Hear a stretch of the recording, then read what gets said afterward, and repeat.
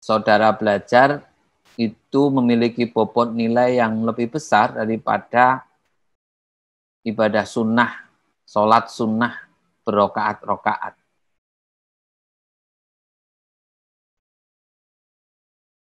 Kemudian hadis berikut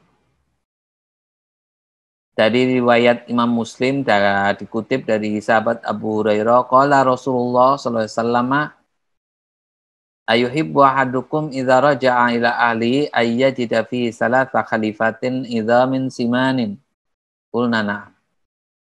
Maukah seseorang di antara kalian jika pulang ke rumahnya, ke keluarganya, sudah mendapati di sana ada tiga unta besar, gemuk-gemuk, dan menyebut sapi yang besar, tiga ekor gemuk-gemuk. Sudah barang tentu mereka mengatakan, ya sungguh suka ya Rasul gitu. Qala fasalasu ayatin yaqra'u bihinna ahadukum fi salatihi khairun lahu min salasi khalifatin idza min simani. Ketahuilah tiga ayat saja yang kamu baca dalam sholatnya itu masih lebih baik daripada tiga daging besar tadi itu. Bagaimana kalau kita baca lebih dari tiga ayat? Maka akan lebih banyak lagi. Dari riwayat Ibnu Majah,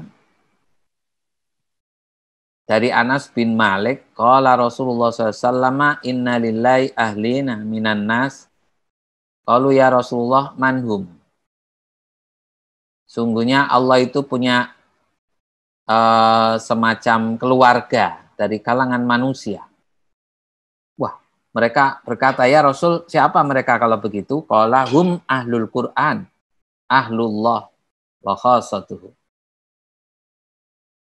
Jadi merekalah ahli Quran merupakan keluarga Allah wa khasatuhu dan ya keluarga spesialnya.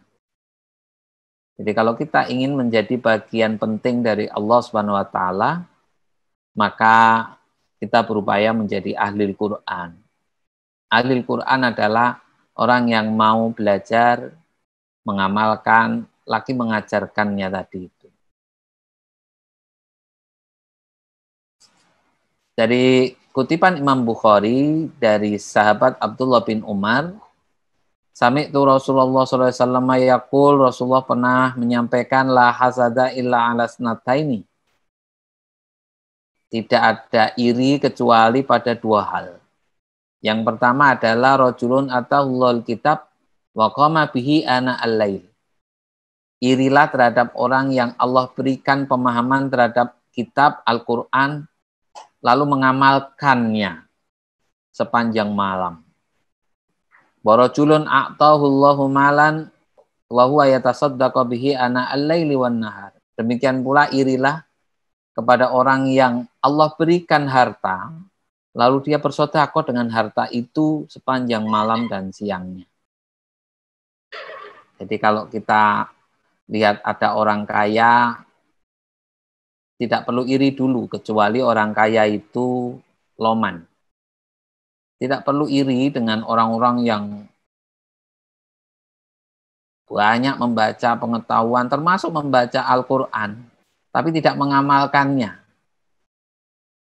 Irilah kepada mereka yang kaya tapi dermawan. Irilah kepada mereka yang suka membaca Quran tapi juga mengamalkan Al-Qur'annya. Hadis berikut dari Imam Turmudi dikutip dari Abdullah bin Mas'ud, qala Rasulullah sallallahu alaihi wasallam, man qara'a harfan min kitabillah falahu bihi hasanah. Wal hasanatu bi asri amsalihah. Siapa yang membaca satu huruf saja dari Al-Qur'an, maka dia mendapatkan kebaikan dan kebaikan itu sepuluh kali lipat. La aqulu alif lam mim harfun walakin alif harfun wa lamun harfun wa mimun harfun. Yang kumaksud bukan alif lamim itu satu huruf, tetapi alif satu huruf, lam satu huruf, mim satu huruf. Itu artinya ketika membaca Bismillahirrahmanirrahim bukan satu huruf, tapi ba satu huruf, sin satu huruf, mim satu huruf, begitu seterusnya. Betapa banyak nilai pahala yang kita dapatkan saat membaca Al-Quran.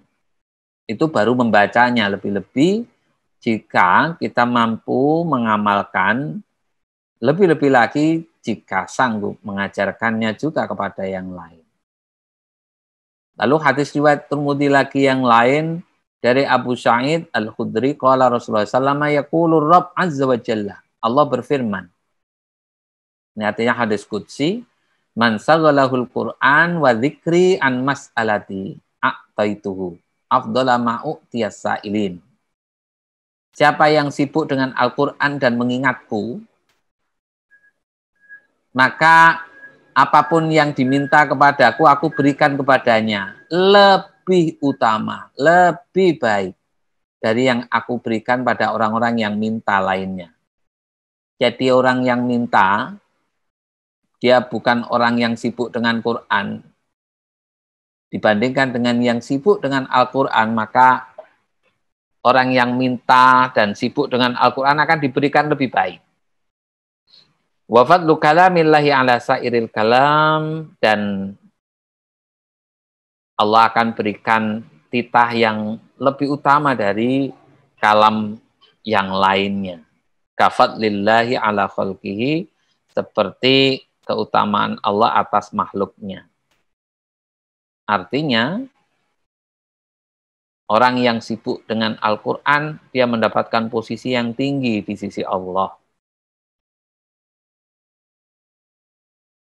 Kemudian diriwayatkan Turmudi juga dari Abdullah bin Amru bin As anin Nabi sallallahu alaihi wasallam sahibil Quran. Rasulullah mengatakan bahwa bagi ahli Quran itu dikatakan ikro, bacalah, wartaki, dan naiklah. Waratil kama kunta turattil fid dunya Bacalah dengan tenang sebagaimana kamu membacanya saat di dunia. Fa inna manzilataka inda akhir ayatin takra'u biha sesungguhnya posisimu itu ada pada akhir ayat yang kamu baca. Itu artinya kalau kita membaca Quran seluruhnya sampai 6236 ayat kita akan mencapai tangga yang ke 6236 ayat itu. Tapi kalau kita hanya membaca tiga ayat, sekalipun dalam hadis yang lain dikatakan kul huwallah sulusul Quran, kul hu itu sepertiga Quran, tidak berarti orang yang hanya membaca kul huwallah ahad tiga kali, dia mendapatkan tangga sampai 6236 ayat. Tetapi dia hanya sampai pada tangga yang keempat saja. Nah, orang yang hanya baca Yasin saja, maka ya dia hanya berhenti di ayat ke-83 atau 86 saja. Artinya tidak bisa maksimal. Nah, seseorang ingin mendapatkan tangga maksimal di surga, ya harusnya membaca Quran secara keseluruhannya. Hal ini didukung hadis riwayat Ibnu Abi Syaibah dari Ummu Darda. tu ala Aisyah, aku menemui Aisyah, faqalat, ma fadlu man qara al-Qur'an alaman lam yakra mimman dakhalal jannah. Apa sih keutamaan membaca Quran atas orang yang tidak baca Quran kelak di surga? Jadi sama-sama masuk surga, tapi kalau yang biasa membaca Quran sampai selesai seluruhnya, dengan yang tidak, maka Aisyah mengatakan inna adad dadurajil jannah ala adadi ayil Quran.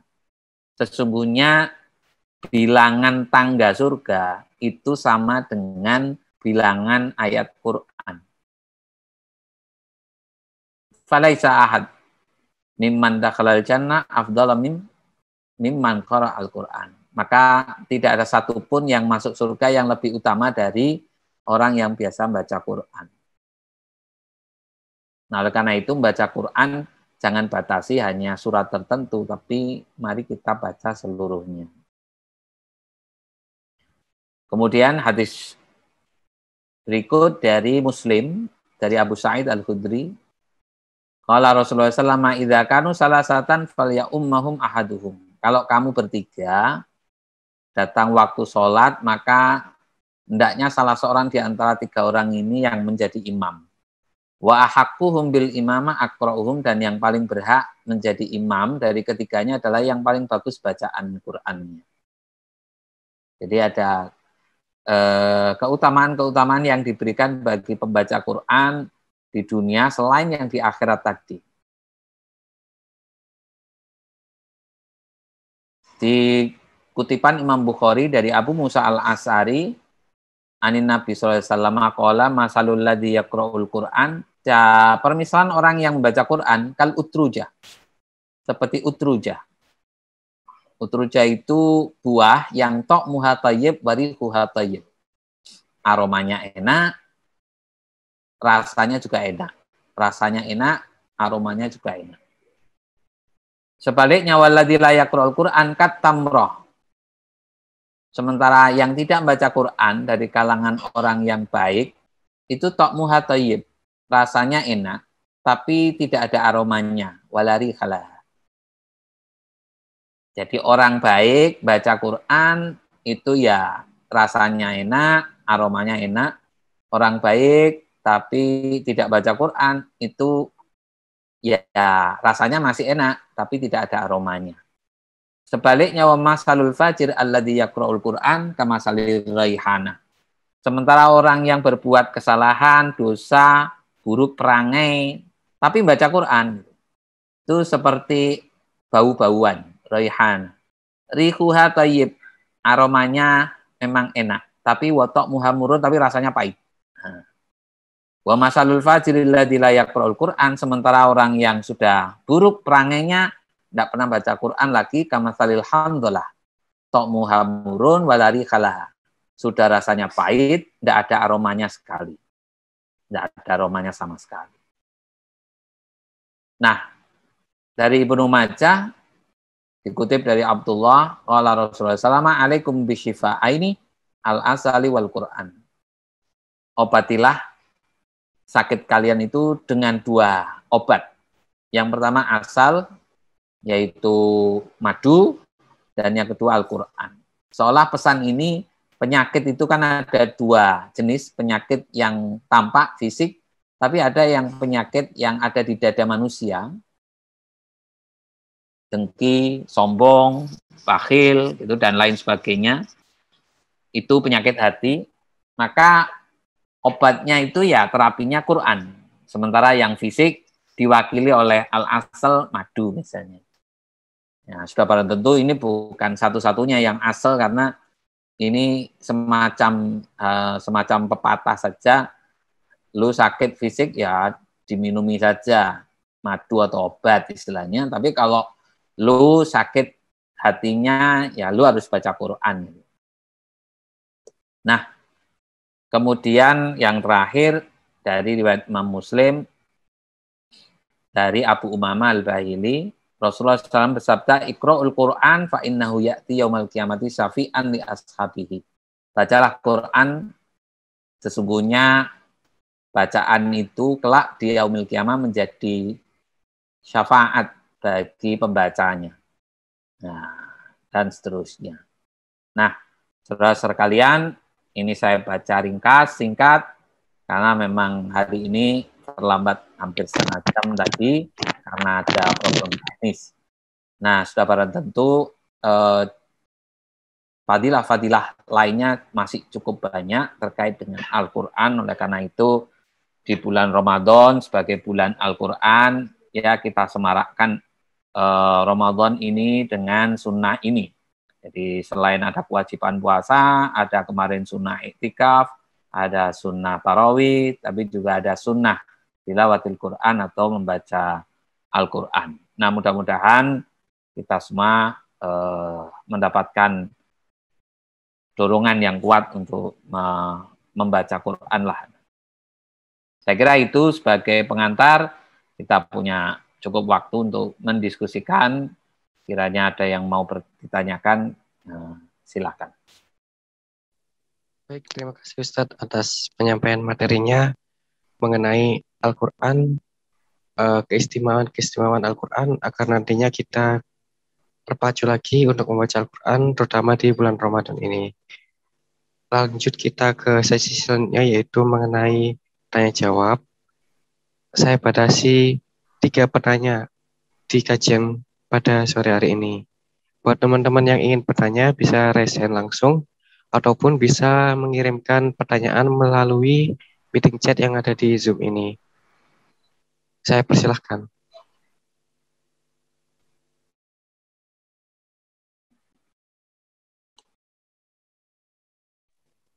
Gimana dari jamaah sekalian, apakah ada yang mau bertanya bisa langsung resen ataupun mengirim di Zoom chat. Oh ini ada Ustadz.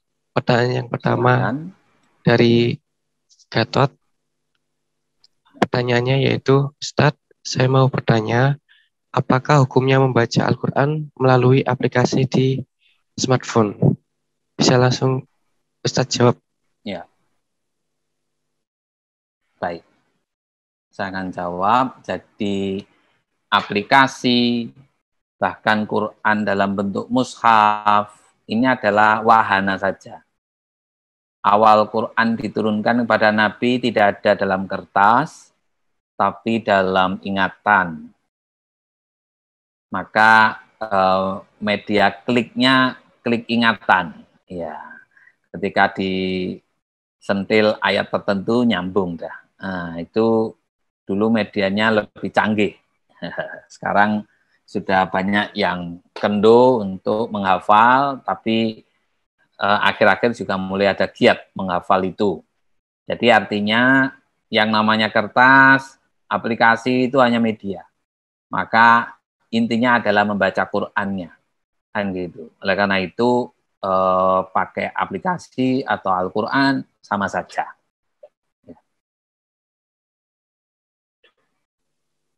Baik Ustadz, terima kasih atas jawabannya. Apakah dari Gatot, apakah ingin, eh, apakah sudah puas dengan jawabannya? Saya harap sudah puas dengan jawaban yang telah disampaikan oleh Ustadz Hasan. Tersisa dua penanya lagi. Bagi jamaah sekalian yang ingin menanyakan, bisa langsung raise hand, ataupun bisa mengirimkan pertanyaan seperti yang telah dilakukan oleh Mas Gatot, yaitu mengirimkan melalui kolom meeting chat. Saya persilakan.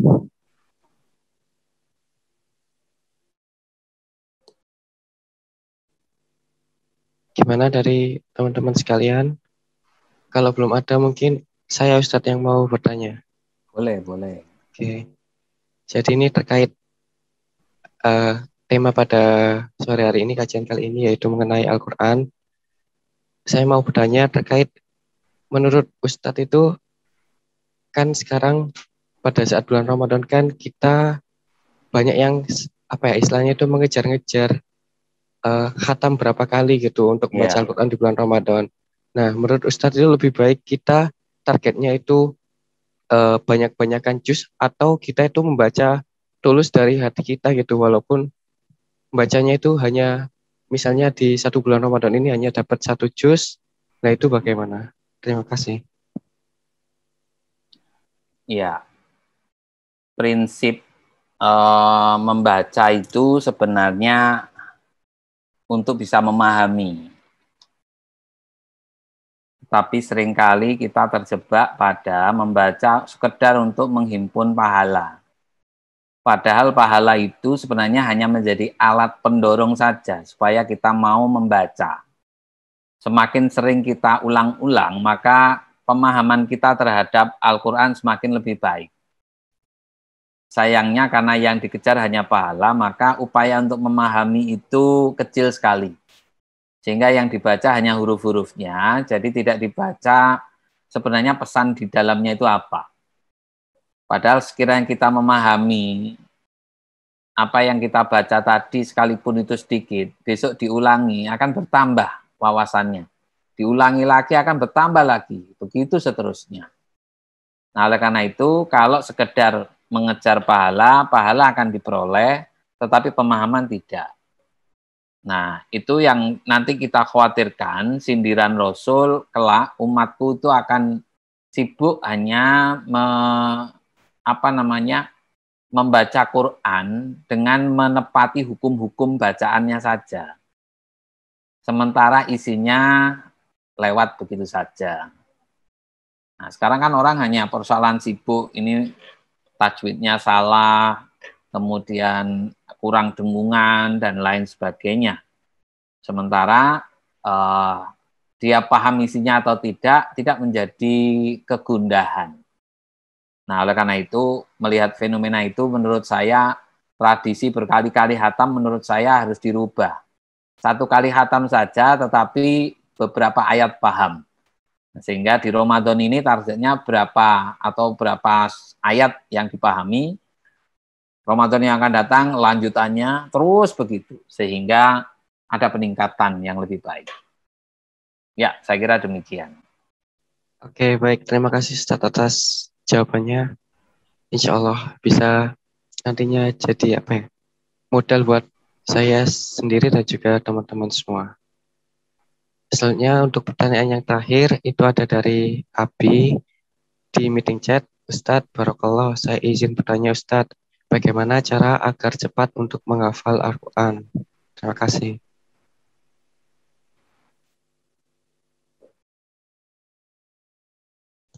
Bisa dijawab Ustadz. Baik, terkait dengan bagaimana teknik membaca Al-Quran. Ya, jadi eh, teknik cukup banyak sih sebenarnya yang ditawarkan oleh banyak eh, ulama yang punya concern dalam hafalan. Eh, pertama, mengikuti masing-masing itu sebenarnya juga sudah bisa dilakukan. Gitu. Jadi ada yang menggunakan standar Quran tertentu untuk hafalan karena ada orang yang menghafal itu kuat di penglihatan sehingga sekali melihat pojok mana, pojok mana, di awali mana, di akhiri mana itu memungkinkan cepat menghafalnya. Atau cara yang lain sebenarnya ada yang dulu biasa kita lakukan di kampung itu tulis, baca, berulang, dibaca, lama-lama dihapus separuh, lama-lama dihapus semuanya. Sehingga uh, lama-lama ayat itu hafal. Bahkan hafal dengan memori tulisannya seperti apa. Oleh karena itu penting buat uh, kita untuk ya mungkin mengambil salah satu lah kalau ingin concern terhadap hafalan. Ya, saya sendiri tidak berani mengklaim mana yang paling karena saya sendiri juga mengalami kesusahan kecuali dulu masih kecil ya menghafal ayat-ayat itu dengan cara tadi yang saya sebutkan, sistem tulis dan hapus. Itu juga pernah dilakukan. Oke, saya kira itu. Oke, terima kasih Ustaz atas jawabannya. Terima kasih juga atas jamaah yang telah menanyakan pertanyaan-pertanyaan dan juga sudah dijawab oleh Ustaz Hasan. Karena berhubung sudah terdapat tiga penanya, maka kita langsung bisa beranjak ke sesi selanjutnya yaitu sesi penutup. Mari kita tutup kajian spesial Ramadan Maskam Undip dengan bacaan hamdalah. Alhamdulillahirrahmanirrahim. Alhamdulillahirrahmanirrahim. Dan doa kafaratul majelis. Subhanallah.